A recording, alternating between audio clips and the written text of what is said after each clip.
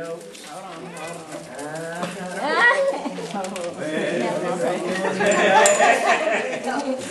Now, y'all know, you know, when you're in school, you're supposed to study your notes. Yes. that's right. When you walk out of the classroom, you're supposed to study the notes, because guess what? Teacher is subject to throw a pop quiz at any time, right?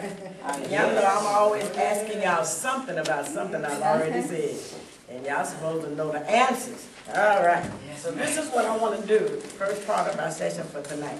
What I'd like to do is um, go through our last session and have those of you that have notes to bring the class up to speed on where we are and what we talked about.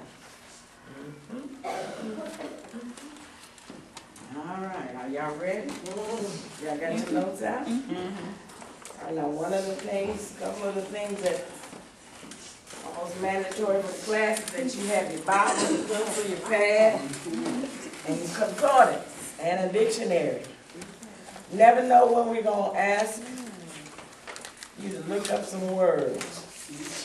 Have y'all flipped over to your last class notes? Yeah.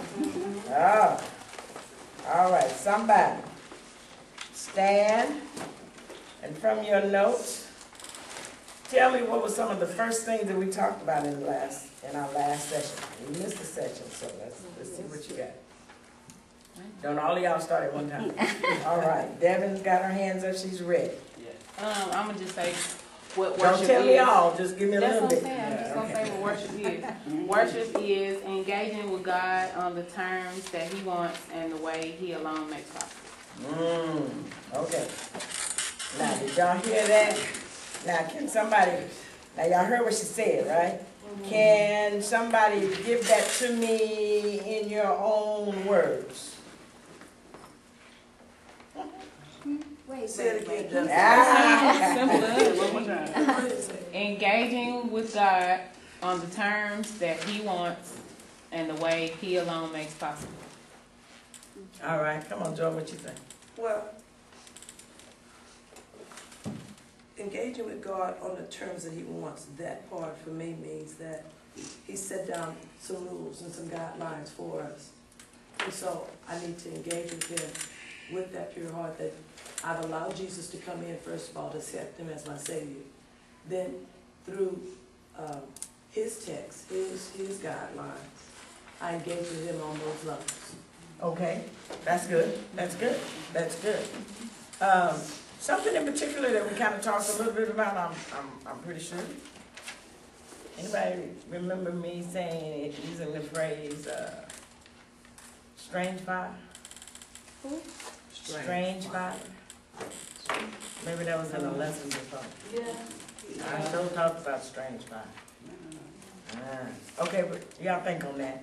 That, uh, K-Ron, you got your hand up? Um, no. Uh, You done forgot? Okay, come on, Tommy. Okay. We talked about three essential requirements for um, acceptable worship.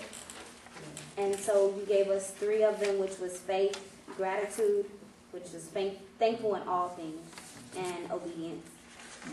And we talked about those three um, develop and increase integrity in us in Christ.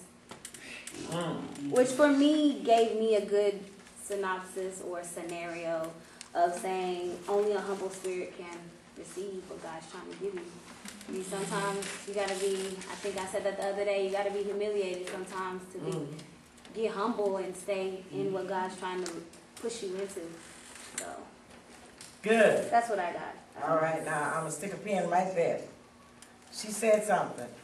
She said that you got to be humble. I'm gonna ask you a question.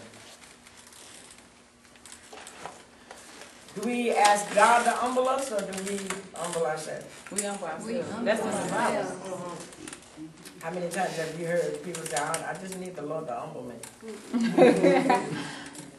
People say it.